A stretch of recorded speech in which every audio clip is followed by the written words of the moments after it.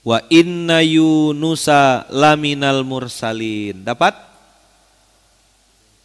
139. Pelan-pelan Pak Sopir. Dapat enggak?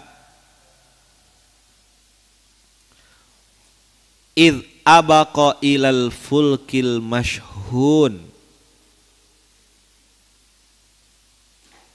Ingatlah ketika dia berlari dengan kap, ke kapal yang penuh dengan muatan.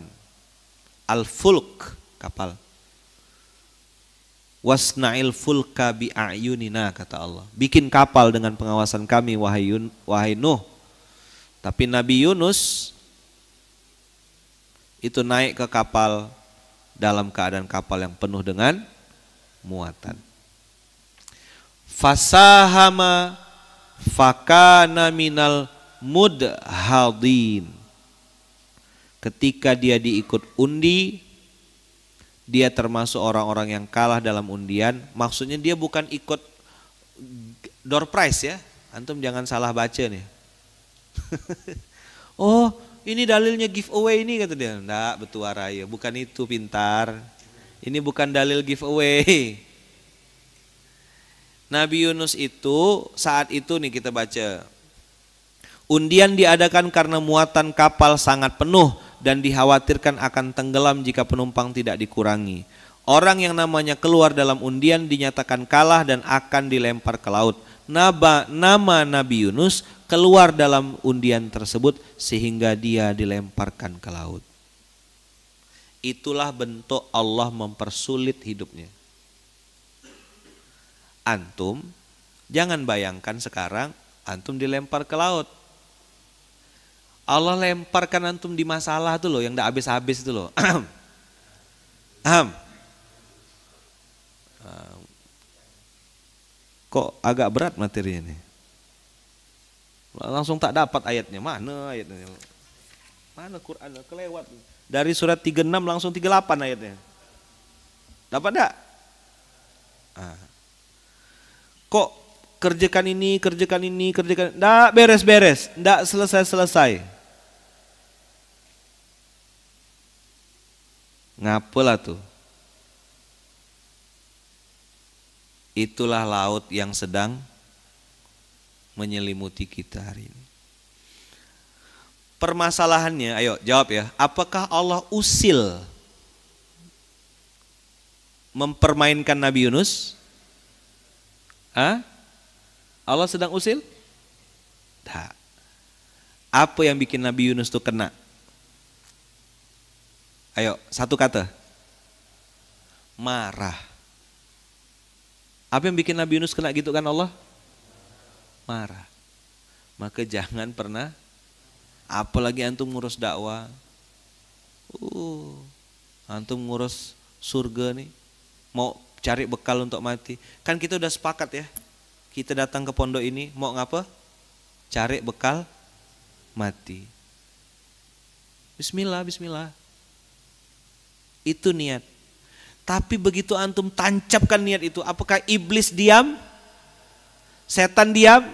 Tidak mungkin. Belum balik antum ke sana. Oh setan udah macam-macam masuk. Shoot, halus-halus setannya. Maka saya bilang pelan-pelan Pak Sopir. Fasahama fakana minal mudhanin. Semakin mudhadin ya, semakin ramai penumpang saat itu diundi diundi diundi yang keluar nama Nabi Yunus dan Nabi Yunus lah yang dilemparkan Allah. Dah, sesi satu. Faltakomahul hutu fa di sini menunjukkan tanpa jeda Begitu dilempar, sud, langsung ada yang nyambut. Paham? Macam kemarin kita ngasih makan ikan tuh, sereng ditaburkan umpannya, langsung samar. Nah, begitulah kira-kira gambarannya faltakomahul hutu. Tapi kalimatnya tidak berhenti di situ. Ada kalimat apa? Wahwa mulim. Begitu dilemparkan Nabi Yunus disambar oleh ikan dalam keadaan dalam keadaan apa? Dalam keadaan tercerah. Kenapa tercela? Karena dia lari meninggalkan kaumnya.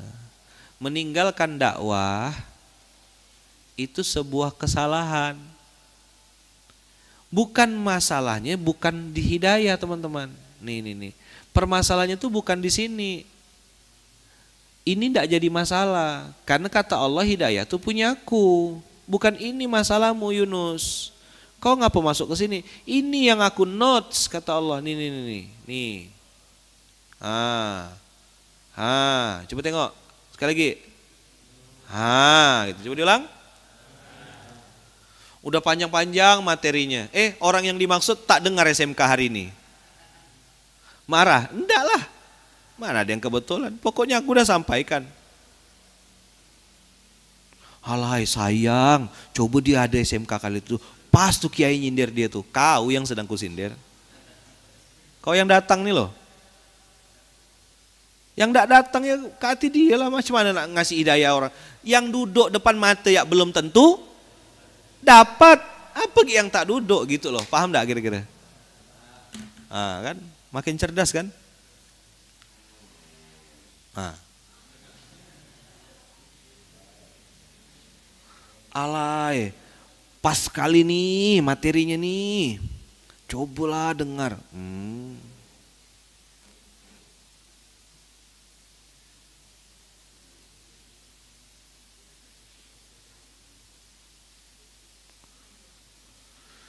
disambar ikan dalam keadaan tercela. Tahu kenapa tercela dia? Yes.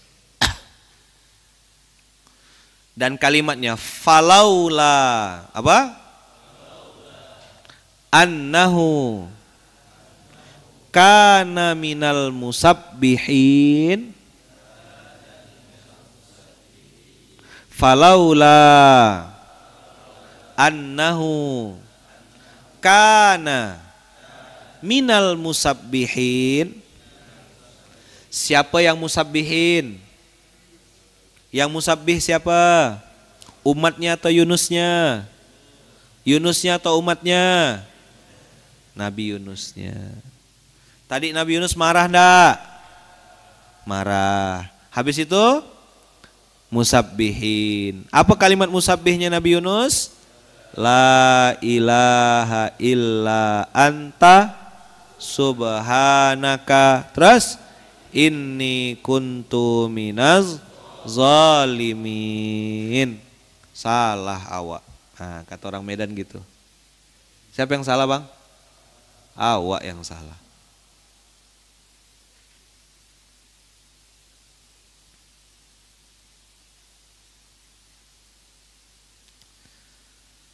Jadi banyak episode-episode dalam kehidupan ini yang itu tuh kita ternyata yang salah.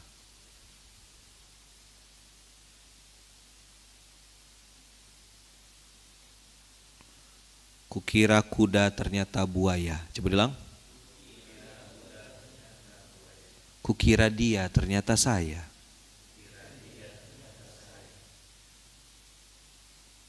Paham?